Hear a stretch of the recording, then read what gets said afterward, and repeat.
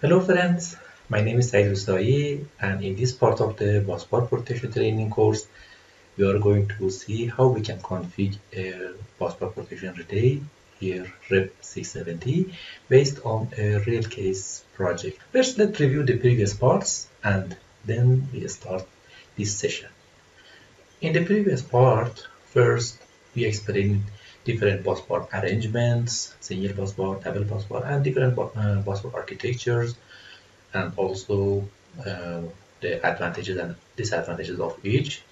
After that, we explained the differential protection for the busbar, different relay manufacturers. We discussed the algorithms for the Siemens relay, ABB relays. We discussed it. After that, we simulated different fault cases in different parts of the bus bar in the bus bars and also in the bus couplers in the dead zones to understand how a numerical digital differential relay works for different cases to analyze the faults for the busbar protection relay. And after that we understood about the peak zones zone interconnections in different relay manufacturers how uh, they implement this zone interconnection and the check zones, what are the differences, why we need check zones, why we need zone interconnections, and the concepts about these two important topics in the differential protection relays. We discuss it with details.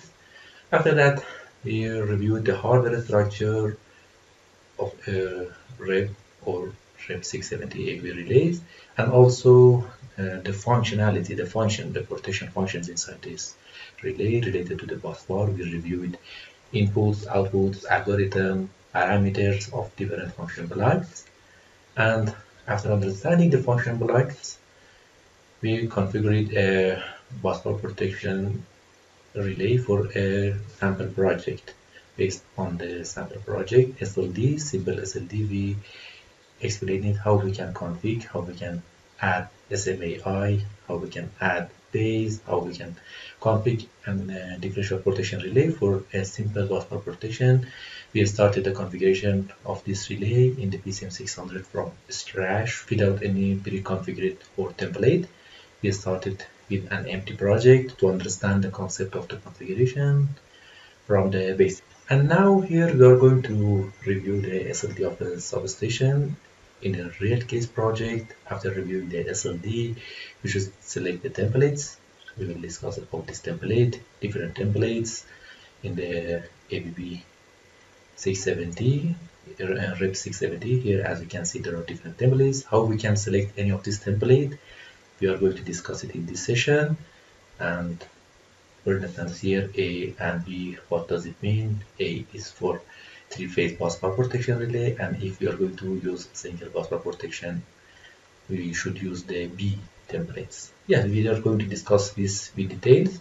After uh, explaining the templates and some of the configuration of these templates, we will go for our case study project. We will select a proper template and after that we will see how we can modify the templates for the case study project. Okay, thank you for watching this part. Let's jump to the next session or SLD, reviewing the SLD and reviewing the REB 670 templates. Have a good time. Stay tuned.